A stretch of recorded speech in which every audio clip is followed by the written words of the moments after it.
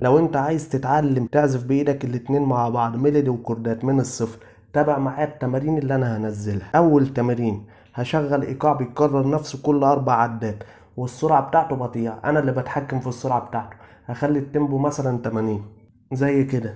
واحد اتنين تلاتة أربعة. واحد اتنين تلاتة أربعة. كل أربع عدات اسمهم مزورة مزورة رباعية.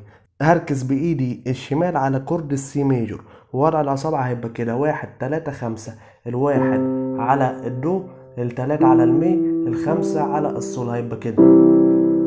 وفي وضع تاني اتنين أربعة خمسة اتنين على الدو أربعة على المي خمسة على الصول كده. يعني كده أو كده.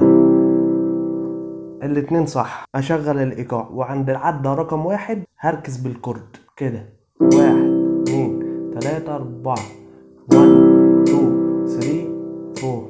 بالنسبة للإيد اليمين هعزف مع كل أربع عدات أربع نغمات متساوية. اللي هي النغمة الواحدة اسمها نوار. كده. واحد اتنين تلاتة أربعة one two three four. دلوقتي هعزف بالإيد الشمال والإيد اليمين مع بعض والإيقاع شغال. هيبقى كده. واحد اتنين تلاتة three four هكمل السلم طالع نازل. كده.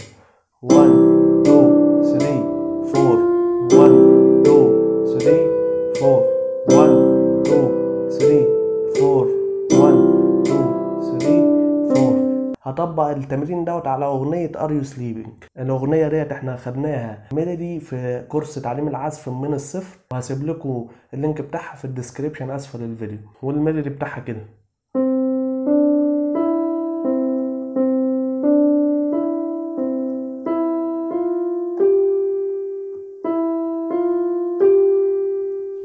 هناخد النهارده من لغاية هنا بس. عايز أطبق التمرين اللي أنا خدته النهارده على الأغنية ديت. بداية الأغنية بعزف على السي.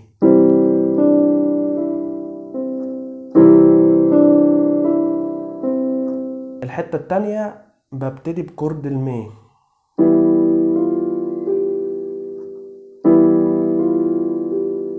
هشغل الإيقاع. 1 2 3 4 وأبتدي. 1 2